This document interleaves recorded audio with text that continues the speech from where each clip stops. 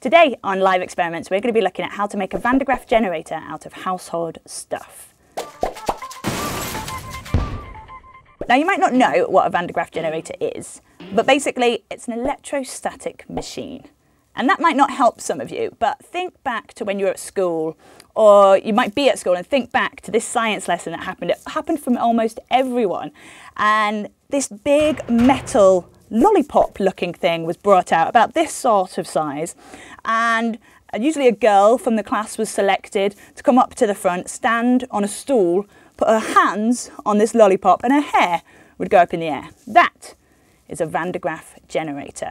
To do this, you will need um, a two litre plastic pop bottle, empty, some round-ish pencils, some electrical wire, some PTFE tape or Teflon tape, a bunch of other tape, anything you've got lying around will do, a spoon, a pair of scissors, some balloons, a drill, and a round metal object, anything you've got lying around, like be it a pan or a salad bowl.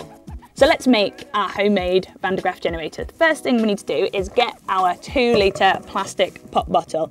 And this is going to be the housing for our Van de Graaff generator.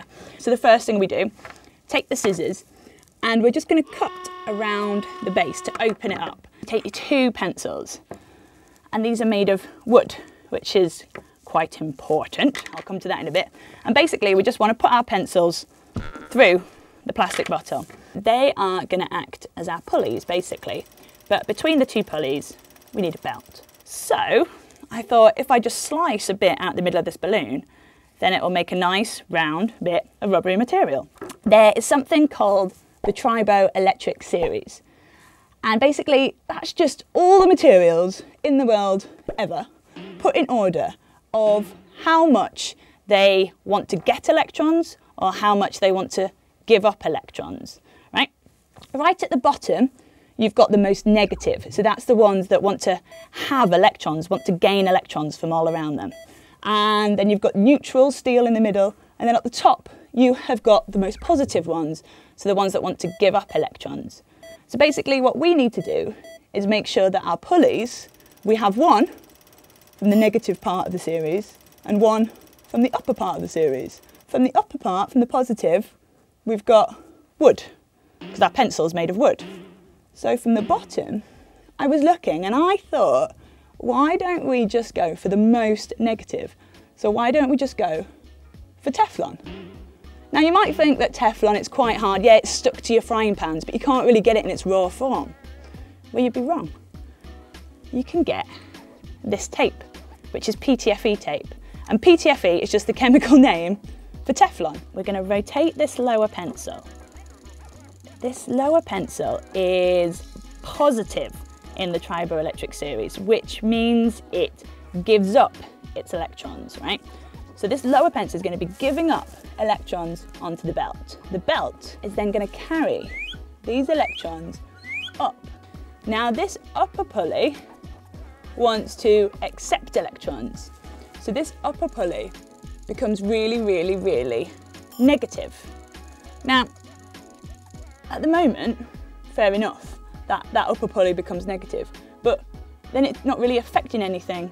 So we basically need to pop a wire in and that will feed off that charge that's collecting there and feed it up to this dome, which we're gonna put on top. So I want this wire to go under here and stick up there. So you've got your wire from your bottom pulley and we want the other end of that wire. And all you do is wrap it around your spoon. So we insulate that end. And the way we do that is um, with another balloon. So you've got negative pan and positive spoon. So when you put them next to each other, the charge is gonna jump from one to the other and hopefully we'll see that as a spark.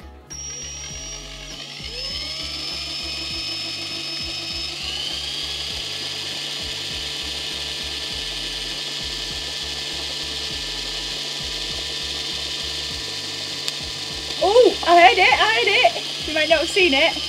Let's keep going. Yeah, let's take the lights down a bit. Yay! Did you see that one? Okay, pick it up a gear. So, after hours of hair drying the belt, of adjusting the brushes, all we managed to get out of my Van de Graaff was a little spark that we could hear. Yay! Did you see that one? Okay. So try it. Trust me, it does work in a dry room. Um, without, no offence, 20 sweaty people. And um, it will work. And so I'm going to say this is a sort of success. And this is how you make a Van de Graaff generator that sometimes works out of household stuff. And if you tried this experiment at home, why not um, tell us how you got on in the comments below?